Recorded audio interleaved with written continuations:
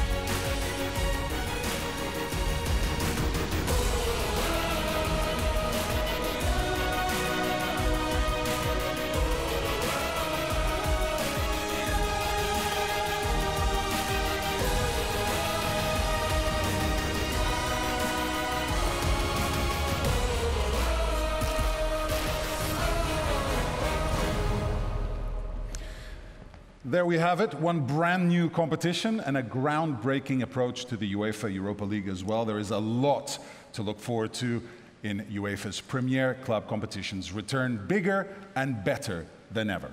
Yes, and Petra, of course, last season's Europa League delivered drama, excitement, and thrills on a totally new scale, with Villarreal lifting the trophy for their first time ever in club history. That's right. Let's take a look back at some of the highlights from what was truly a magnificent competition.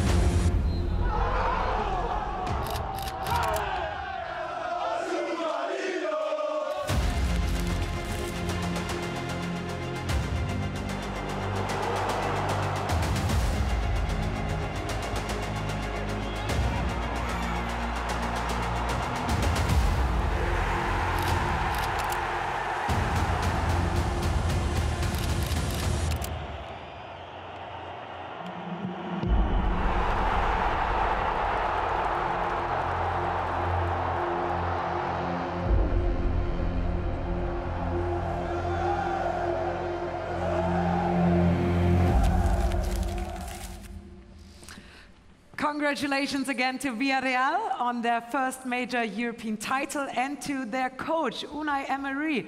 What a story, wow. who has now won the Europa League in incredible four times. Amazing. It was another standout season in the UEFA Europa League football with some exceptional performances from some of the best players on the planet. But, Laura, there can only be one UEFA Europa League player of the season. And the award is voted for by the 48 UEFA Europa League clubs that featured in last season's competition, along with 55 football journalists, with three players shortlisted for the trophy. So the nominees are Edinson Cavani of Manchester United, whose six goals in the competition included the equalizer in the final itself.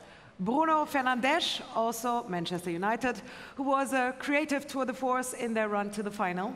And Gerard Moreno of Villarreal, who led the line for the Yellow Submarine, scoring seven goals in 12 appearances. And this year's trophy goes to Gerard Moreno. Congratulations.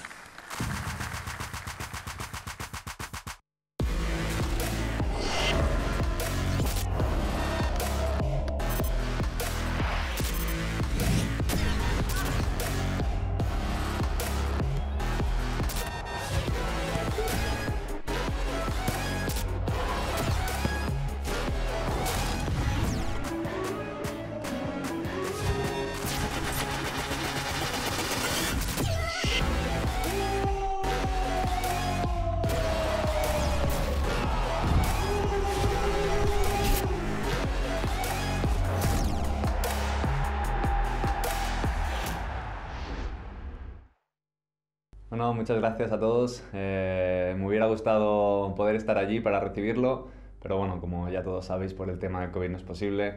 Eh, me hace mucha ilusión este premio, eh, porque para nosotros la temporada pasada significó una temporada histórica para el club, para el Villarreal, por conseguir el primer título en, en su historia, el primer título europeo. por eso nos, nos hace mucha ilusión.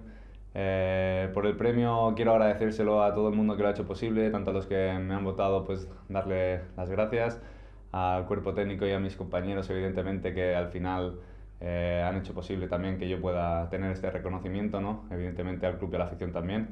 Y, y bueno, eh, muchísimas gracias a todos, que, que, lo he dicho antes, pero, pero lo vuelvo a decir, ¿no? me hace muchísima ilusión recibir este premio que, que para mí es, es muy importante. Así que gracias y espero que, que vaya todo bien y nos vemos pronto. Un abrazo. Incredible season from Gerard Sharpshooter from Villarreal, our UEFA Europa League player of the season. Right, now it's almost time for us to begin the draw for the Yay. UEFA Europa League group stage. And this season's final will be played at the Ramon Sanchez Pizjuan Stadium in Valencia. In Sevilla. Sevilla, because Sevilla is one of the most successful clubs in the UEFA Europa League history, having won the trophy six times. And our next guest was an important player of the winning teams from 2006 and 2007.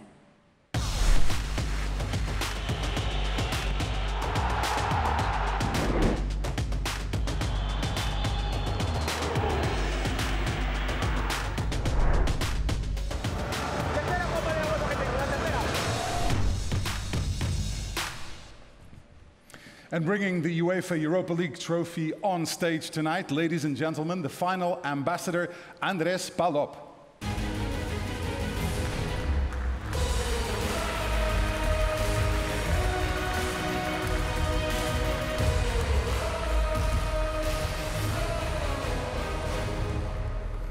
It's quite a heavy one. Oh, but he's used to winning it. yes, yes, definitely. He has a great relationship with this trophy. Andres, great to have you here with us. Buenas tardes. Buenas tardes. ¿Cómo estás? Yeah. We have to ask you about winning this competition twice with Sevilla. Uh, such amazing memories. How proud are you to be part of not only Sevilla, and Andalusian, but Spanish history with this particular tournament? Háblanos de tu orgullo de hacer parte de la historia de esta competición y de uh, vivir emociones con este trofeo. Sí, para mí fue muy importante iniciar el camino del Sevilla hacia los seis títulos que, que hoy en día disponen sus vitrinas y conseguir eh, en el 2006 el primer triunfo, el primer trofeo y luego conseguir consecutivamente el segundo fue un auténtico orgullo. Por lo tanto, muy contento de pertenecer a Sevilla en ese momento, a Andalucía y sobre todo pues, que España tenga también un, un equipo que tenga tantos títulos en la Europa League. And the 2007 success was in a large part down to you. So, what are your memories of that final? Well, uh, I'll also help translate a little bit. ¿Qué, qué, qué recuerdos tienes de la final en 2007? Sí, pues yo creo que fue eh, mi mejor año eh, a nivel deportivo. Creo que fue el año que más disfruté. Eh, conseguí eh, tres títulos ese año a nivel local y en la Europa League. Y sobre todo, pues bueno, eh, vemos imágenes de, de los penaltis en el último encuentro, donde pude hacer una asistencia, donde pude eh, parar tres penaltis. Y sinceramente son recuerdos imborrables que llevo muy dentro del corazón. You're the final ambassador. I have to ask you about the final and the stadium where it will be played in the Ramón Sánchez Pizjuán in Sevilla, a stadium you know so well. Why is it so special? ¿Qué hace el estadio de Sevilla tan especial? El ambiente, creo que el ambiente es un ambiente extraordinario. Creo que tenemos eh, el aficionado, la gente en general, la ciudad, creo que es idónea para recibir a todo aficionado que vaya a ver esa final.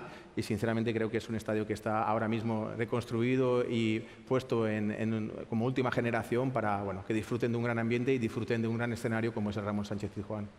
Thanks. Gracias. Andres, gracias. gracias, Muchas gracias, gracias. muchas gracias. It's great to have you here to uh, today helping with the draw. So, uh, may I ask you now to take your position at the draw table? Thank you. Andres Palop, final ambassador.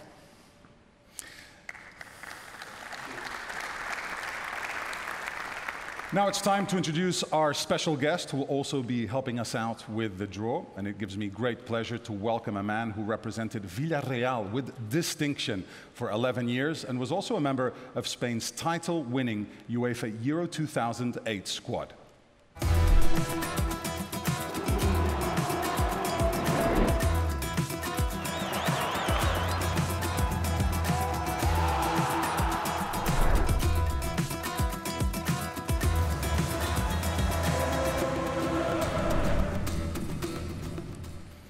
And please welcome on stage Marcos Senna.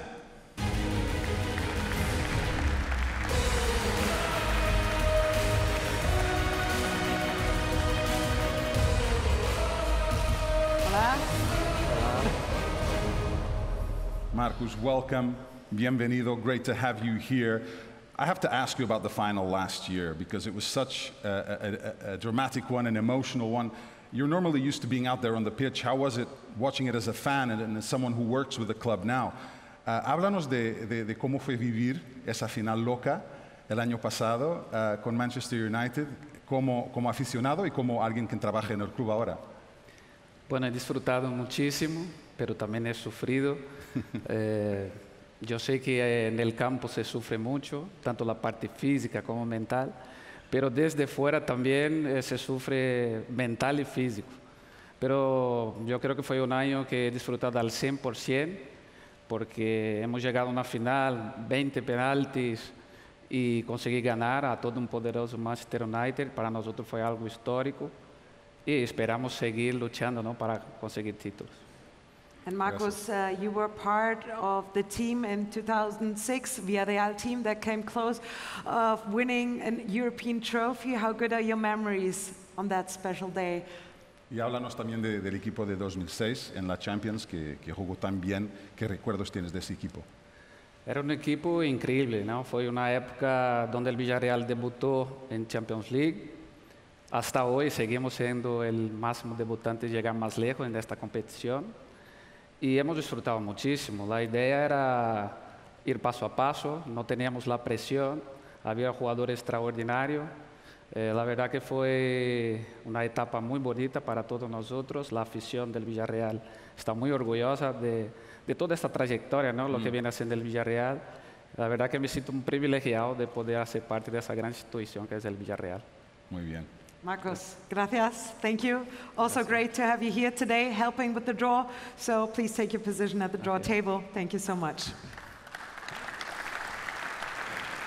All right, we're counting down. We're ready to begin the draw. And so I'd like to welcome on stage UEFA Deputy General Secretary Giorgio Marchetti and Michael Heselschwerdt, UEFA Head of Club Competitions.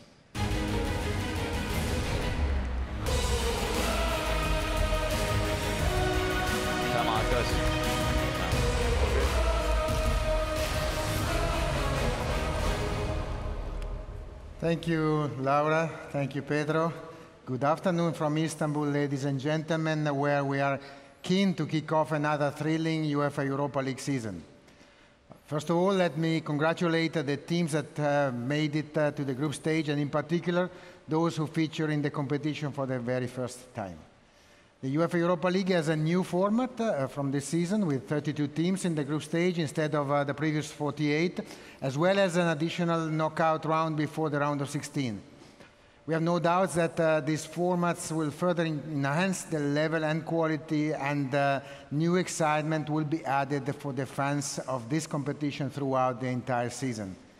We're very much uh, looking forward to another brilliant chapter of uh, European club football, whose final act could not have a more appropriate venue as the Ramon Sanchez Pizjuan Stadium is the home to Sevilla FC, the club which has such a love affair with this competition that they have won a record six times. Best of luck and a great European campaign to all clubs involved in today's draw. Indeed, Giorgio, thank you very much. Let's take a look at the technical procedure for this season's UEFA Europa League draw.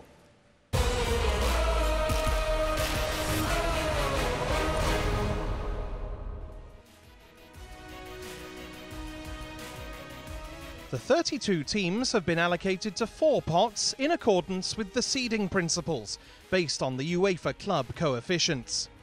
Pot 1 will comprise the top 8 clubs in the club coefficient rankings, Pot 2 the following 8 clubs in the rankings, and so on for Pots 3 and 4. For TV coverage reasons, clubs from the same association are paired in order to split their kick-off times, that is, one early and one late. For this reason, the eight groups will be distinguished by colours. Groups A to D will be red, and groups E to H will be blue. When a paired club is drawn, for example into a red group, A to D, the other paired club, once it has been drawn, will automatically be assigned to one of the four blue groups, E to H. In addition, pairing principles will also be applied between UEL and UECL. Therefore, in the case of associations with one representative in the UEFA Europa League group stage and one representative in the UEFA Europa Conference League group stage, these clubs will also be paired so that their matches kick off at different times. In the case of associations with one representative in the UEFA Europa League group stage and three representatives in the UEFA Europa Conference League group stage, the UEFA Europa League club will be paired with the unpaired club in the UEFA Europa Conference League group stage. In the case of associations with three representatives in the UEFA Europa League group stage and one representative in the UEFA Europa Conference League group stage, the unpaired UEFA Europa League club will be paired with the club in the UEFA Europa Conference League group stage. A ball is drawn at random from pot 1. The team drawn is placed in the first available group in alphabetical order from A to H, as indicated by the computer.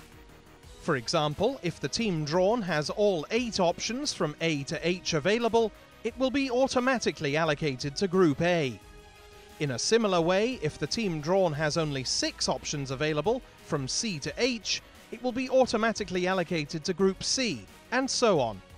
It must be noted that the number of options available to a team depends not only on the team's own attributes, for example, winter venue, and those of the teams already drawn, but also on the attributes of the other teams still to be drawn. This is due to the computer calculations needed to anticipate all possible scenarios and to prevent any deadlock situation. This procedure will allocate all teams to the various groups. Then it will be repeated for the teams in pots 2, 3, and 4 in that order. At the end of the draw, a computer will assign the final positions of the teams within their group. These positions will determine the order of the home and away matches, as well as defining which matches are played with an early or late kick-off. The match calendar will be released on Saturday morning at the latest.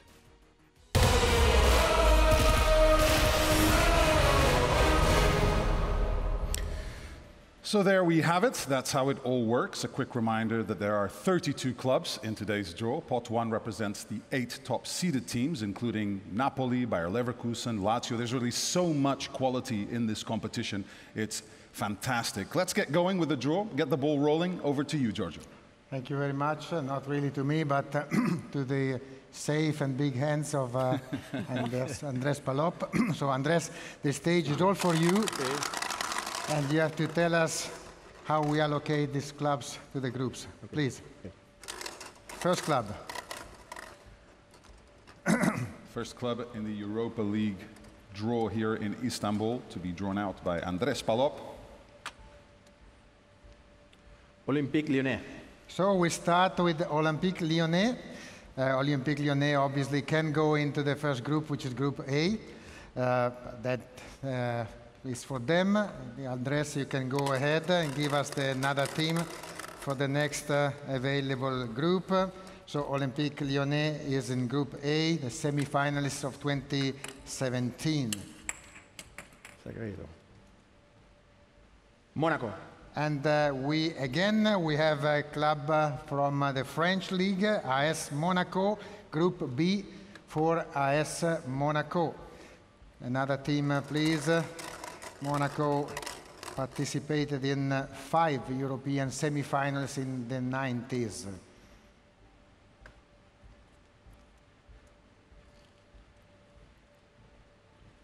Napoli. Now we move uh, to Italy with uh, Napoli. For Napoli, Group C is available, and then uh, we allocate Napoli to this group. we are ready to see the fourth one.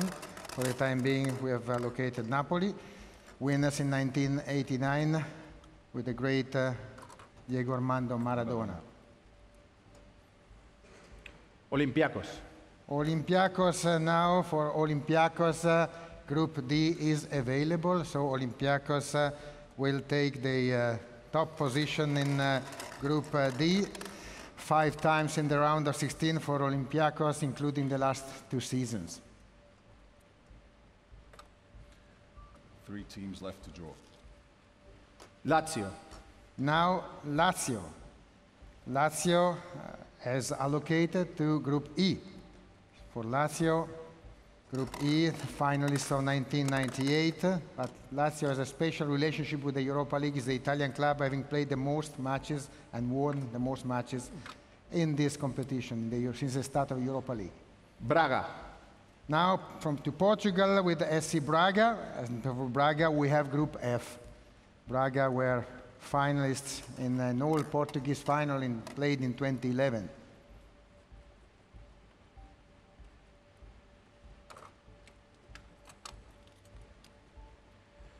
Bayer Leverkusen. For Bayer Leverkusen, it is Group G. Bayer, another former winner of the UEFA Cup back in 1988. the final one in the spot. Dinamo. So the last club uh, to be allocated, GNK Dinamo Zagreb, and for Dinamo we have Group H. So that, uh, that tells us all about pot one and the start of the groups. Thank you, Giorgio. So eight teams down, 24 to go. Let's move on to pot number two, which includes, for example, Leicester City, PSV Eindhoven, and Eintracht Frankfurt, who won this competition back in 1980. Michael, you Thank continue. You. Thank you, Laura. So I do a big shuffle, and then Marcos, we're ready to start. So first team of this pot two. Let's see.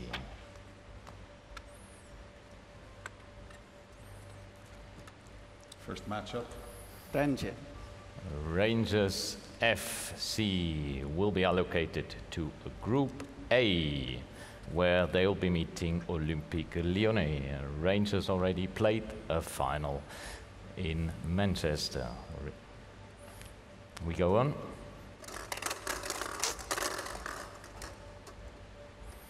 Next team to be drawn out of pot two.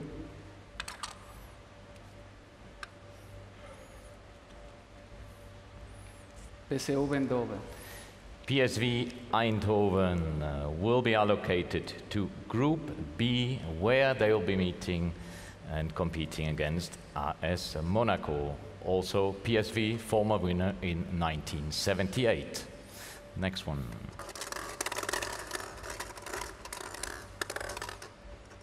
Third team.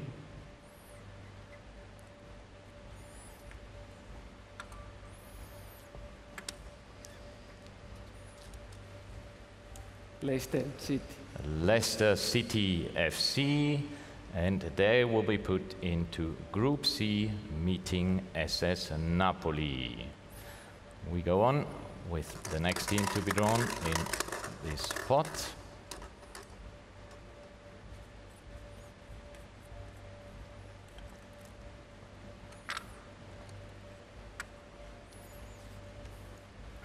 FC Lokomotiv. FC Lokomotiv Moscow will be allocated to Group E, uh, Group E for Lokomotiv Moscow, uh, where they will be meeting another Italian team, SS Lazio.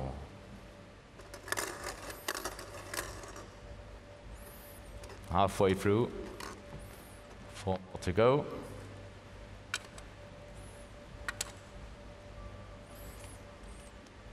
Eintracht Frankfurt. Eintracht Frankfurt from Germany will be put into Group D, where they will be meeting the Greek champion Olympiakos FC. Also, Eintracht Frankfurt, a former winner of this competition in 1918, but also the first ever German uh, Cup finalist of a European club competition.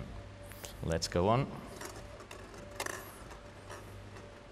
Three teams left to draw in this Yeah. spot. Spot number two. We've Got five groups already with two teams.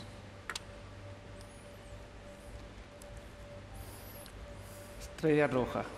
Yeah. That's FC Crvena Zvezda or Red Star from Serbia will be put into Group F for Red Star. They will be competing against SC Braga amongst two others. Two more to go.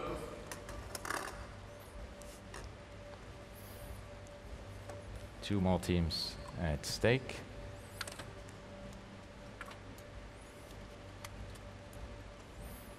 Celtic.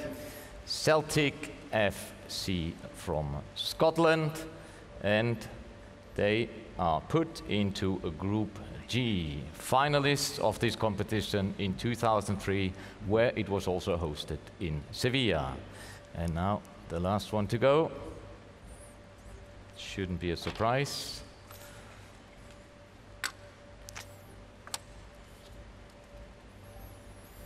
Henk.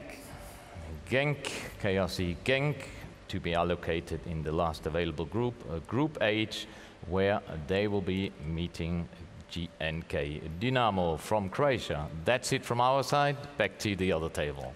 Yeah, so we're halfway through uh, the draw, and we already have some fantastic matches to look forward to. I mean, Wow, looking at these groups, it's difficult to pick a couple, but maybe I'd go for Monaco PSV, Bayer Leverkusen Celtic, Olympiacos against uh, Frankfurt. Anyway, so many great matches. Let's continue to complete these groups with pot three, which is coming up next. Uh, this pot includes the likes of uh, Olympique Marseille, Fenerbahce, and West Ham United. Back over to you, gentlemen. Sure, Pedro, we all want to see more of this group. That's why I'm asking now Andressa to uh, deliver another team, which uh, will uh, help us uh, see this group taking real shape. And we start with this one. Olympique Marseille. We start uh, with Olympique de Marseille, and according to our conditions, the first available group for Olympique de Marseille is Group E. And the Group E means that they are joining Lazio and uh, Lokomotiv Moscow. For Olympique, uh, three times finalists, including the last time in 2018.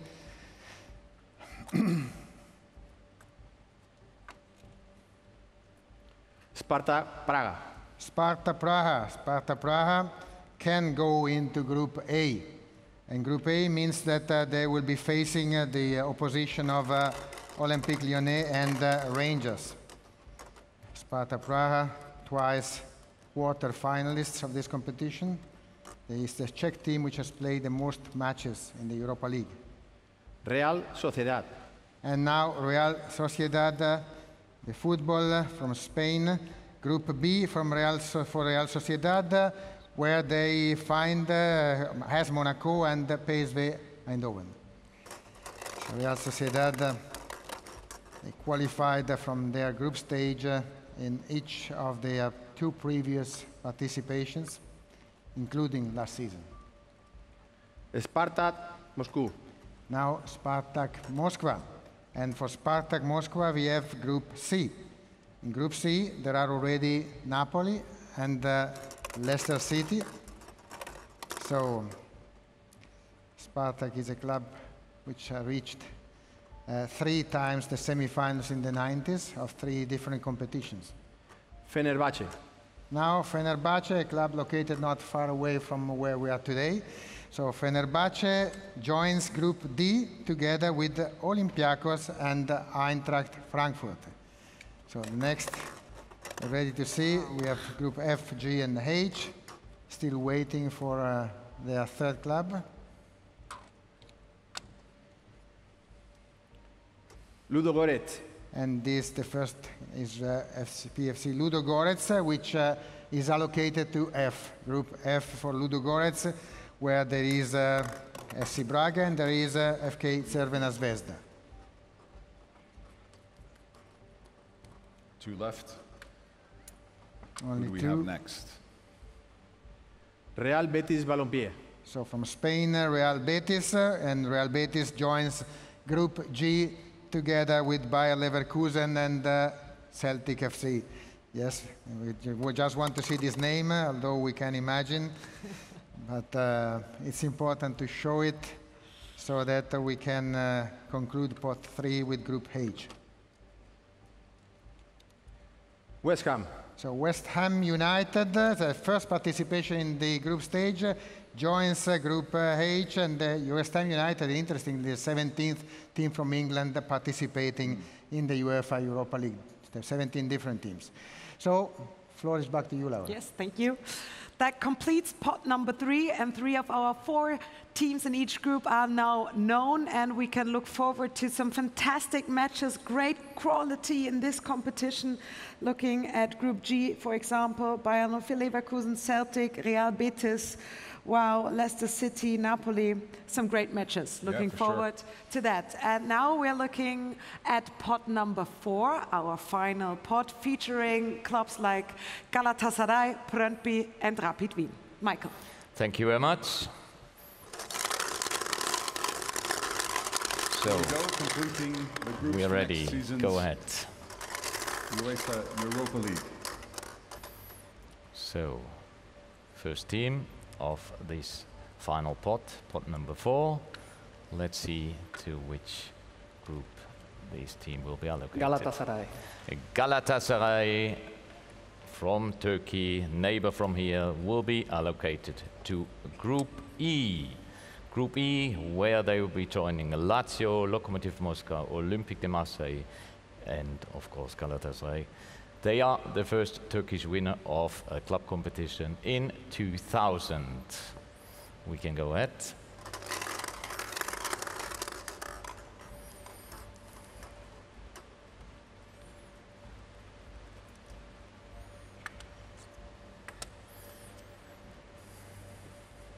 Run.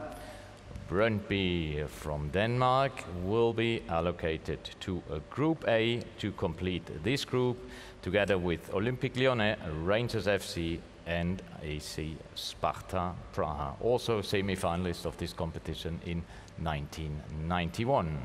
Next one to go, please, Marcos.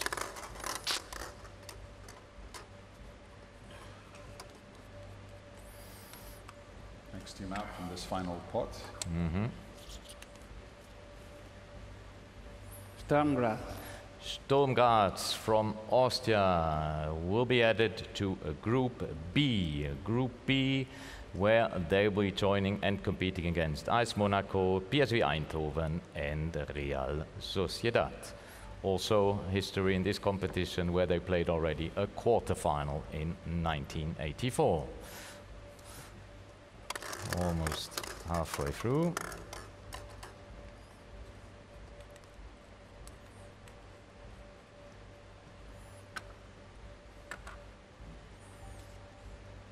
Midland. Midtjylland uh, will be joining Group F. Uh, group F for Midtjylland, complementing this group and competing against SC Braga, Crvena Zvezda and Ludo Goretz. So this is halfway through this group, four more to go. Some big teams still in the pot.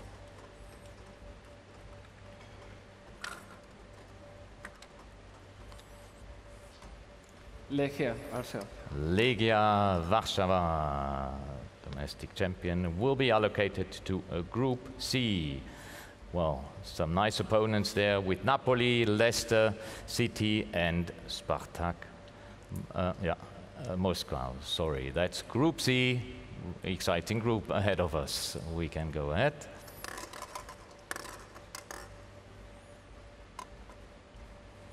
Three more teams available in this pot.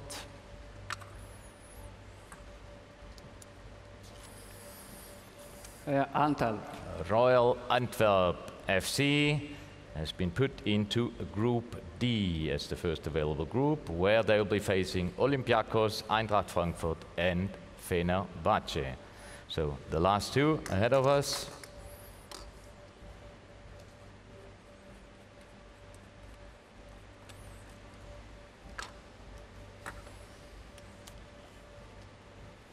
Ferencváros. Ferencvárosi TC from Hungary will be put into a Group G. Ooh, and some nice opponents there with Bayer 04 Leverkusen, Celtic and Real Betis Balompié.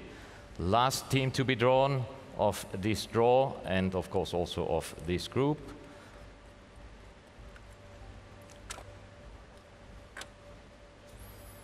To complement the lineup. Rapid Vienna. Rapid Wien uh, will be put into Group H, the remaining group, Group H for Rapid Wien facing uh, GNK Dinamo, KRC Genk and West Ham United. That's it from our side. Back to you. Well done, gentlemen. We have now all groups complete, so let's go through the lineup, and dare I say, star-studded lineup. Starting in Group A with Olympique Lyonnais, Rangers, Sparta Praha, and Brøndby. In B, it's Monaco, PSV, Real Sociedad, and Sturm Graz. In C, Napoli, Leicester, Spartak Moscow, and Legia Warsaw. And in D, Olympiacos, Eintracht Frankfurt, Fenerbahce, and Royal Antwerp. I will continue with Group E. We have Lazio, Lokomotiv Moskova, Olympique de Marseille, and Galatasaray. And in Group F, we will find Braga, Red Star from Serbia, Ludogorets, and Midtjylland. And in Group G, Bayer 04 Leverkusen, Celtic, Real Betis, and Ferenc Varsovie. And in Group H, Dinamo, Genk, West Ham United, and Rapid Wien. There we have it. Thank you, everybody. Thank you, gentlemen. Thank you, everybody, for joining us today. We had a great draw. Looking forward to a great season. And a special thank you to our special guests tonight, helping us out with the draw, Marco Senna. Thank you very much. And our final ambassador, Andres Palop. That's right. And by the way, congratulations as well to the UEFA Europa League Player of the Season, Gerard Moreno, an award we attributed tonight. Now, the UEFA Europa League group stage matches kick off on Thursday on the 16th of September. Best of luck to all the clubs involved. Here's to another exciting season in the UEFA Europa League. From all of us here in Istanbul, it's goodbye.